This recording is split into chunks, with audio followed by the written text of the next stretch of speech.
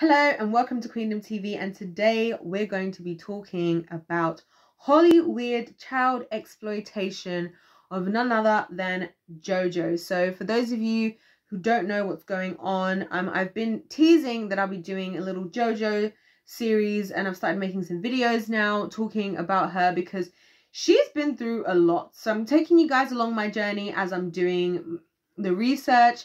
Shout out to my, shout out to you know who you are because you sent me so many great things. I'm literally just using everything you sent me to get myself up to date with what's going on. So yeah, definitely check out the playlist to hear more.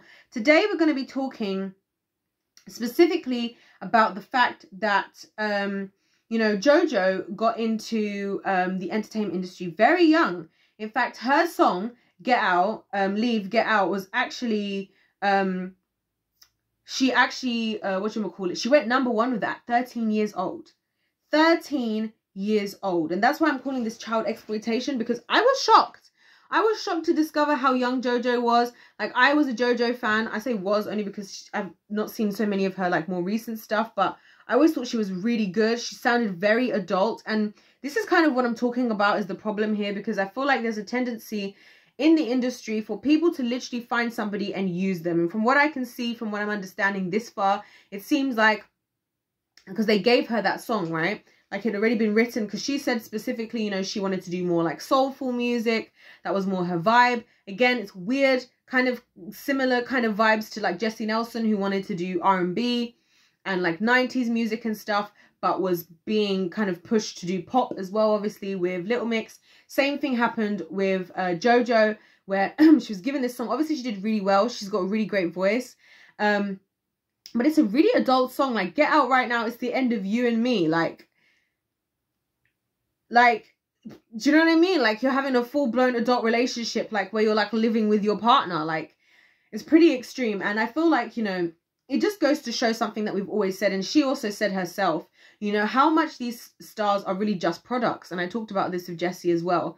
Unfortunately, JoJo just said it as if like this is just the norm and this is just what it is, you know, that in the industry you're just a product. And I don't believe it should be that way.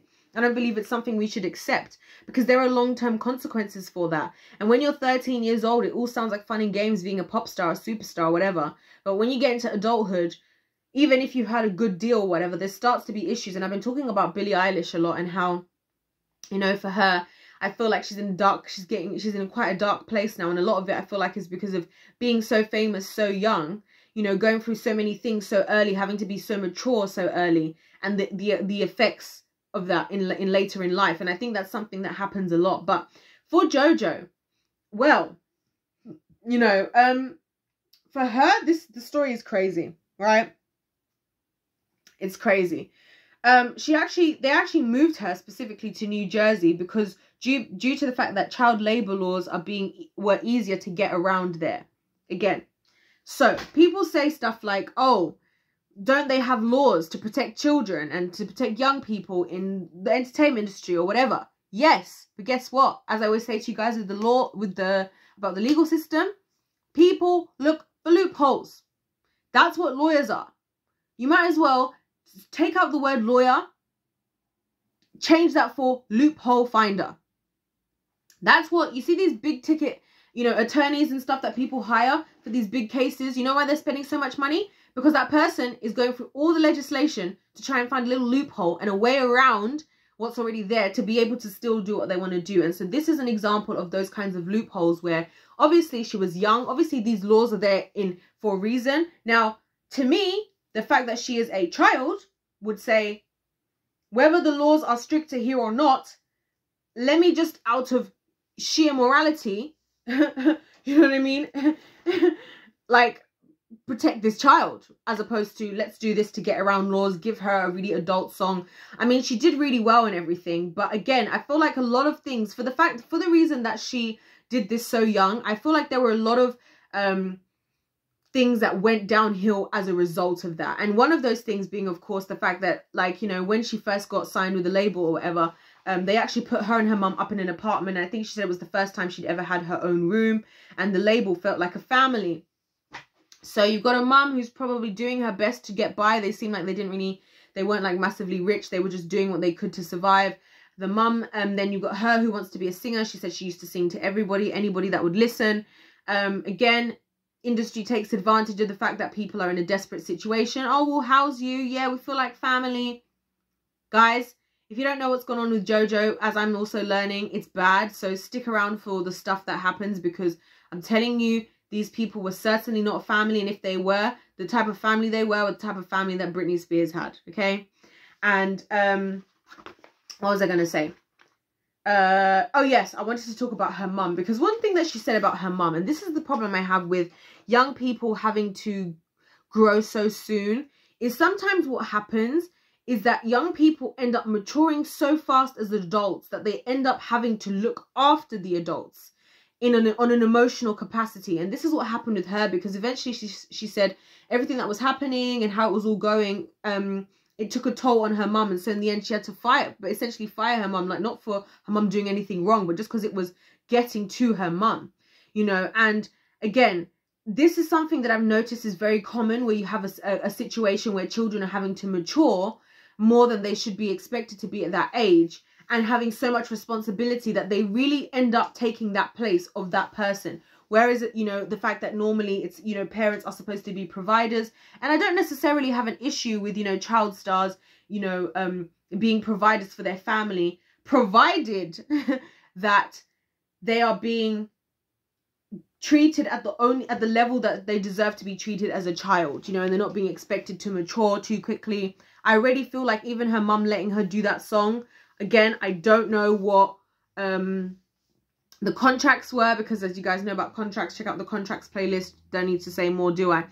Uh those con the contract playlist um we don't know what the contract said so there could be things in the contract that they maybe already signed to maybe the one wasn't happy maybe that's part of the reason. I'm going to find out because as i said i'm going through the research kind of as i'm making the videos i'm researching at the same time. I kind of like to do it that way because it means that like we all go on a journey together and um i like that you know? Um but uh what was i going to say? So uh yeah it, you, there's always this thing of where like the child ends up becoming like the parent and then the child ends up being the one having to like internalize all their feelings whilst the parent kind of takes a toll on them. And so in the end obviously she's fired her mom which is probably the best person she needed to keep you know to actually have somebody looking out for her. And when i say fire like fire is such a strong word. You know obviously let her mum go to protect her mum. But it's like why is a mum having to be let go to protect her younger daughter? Like do you know what i mean? And i get that you know different people are born with different you know levels of capacity to deal with stuff. But I also do feel like, you know, if it's so much for her mum, then really they should both be stepping away. And I feel like there's a tendency, because a lot of um, young people in the entertainment industry are so capable, there's a tendency for people to um, treat them so much more as adults and for them also to just rise to the occasion, you know, which is a bit of a shame, I think, you know, because I always say this that like, you know, I really believe it's like how the Bible says don't awaken love before it's time, right?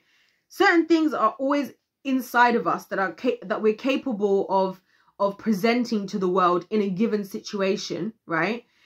And but the idea is that as you go through childhood, you're protected from you opening certain doors too early, right? Because otherwise you won't get to enjoy the fullness or experience the fullness of being a child and you mature too fast. That's why you have a lot of children who they say, oh, wow, she matures, she matured so quickly. She's so mature for her age. A lot of times that's good, but some a lot of times that's also bad. Because a lot of times it means that you've got young people who have had to deal with things above what they should have to deal with. And the consequences, they always come back after the fact in one way or the other. You know, whether that be, obviously in her case, she as a child was massively ignorant. Of course, so was her mum, and not the fault of her mum in terms of being an adult at all. I think the entertainment industry, as it is, has been very evil in ways people didn't really understand for a long time. Um, but you know, um, being caught up in that industry, doing what she has to do at such a young age, um, it's detrimental, you know. And so it's really sad to me that at 13, like people were just going along with this. Like, how many people, and it's like what I always say, how many people were around just seeing this? How many people were hearing these lyrics? seeing this 13 year old girl and saying nothing, putting these ideas into her head. She's having to sing it. You know, like when you sing and stuff and when you're like performing something, you have to get into that vibe. Like, why are we we wonder and we wonder why like we look today at 2022 why so many young people are depressed why so many young people are going through so much why so many young people think they're adults why because so many of them have been made to be adults in a lot of ways. And this is something the industry always does. They love to get artists when they're young.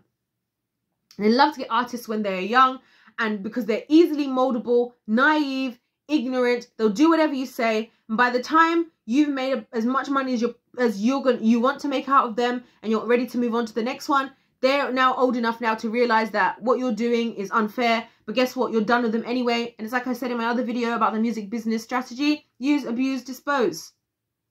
But then here's the thing. When you're the one who's left over you've got a whole situation a whole mess. And i mean there's so much we're going to get into guys with all this jojo stuff because like just this label and how dodgy they were, all this music that we've never heard of, why she's not making, like, there's just so much to get into. So if you guys want to hear more about this, definitely check out the videos. I'm going to try and not make them too long um, and try and do things per topic so that if there's certain things that you want us to hear about, you can. But I just feel like we've really got to stop, you know, pushing children um, I feel like it's not it's not coming from a place of like, oh, I want to give them an early start. It's more coming from a place from how can I take advantage of this young person? How can I take advantage um, and expose and from the naivety even the fact that you know they, they put the mum and her her mum and her like in an apartment it's like we're helping you now. It's all of these like to me like subliminal messages of like you need us. You need us. And therefore because you need us and we're doing everything for you it's going to be hard to say no. Because imagine trying to say no to a label who's giving you a house.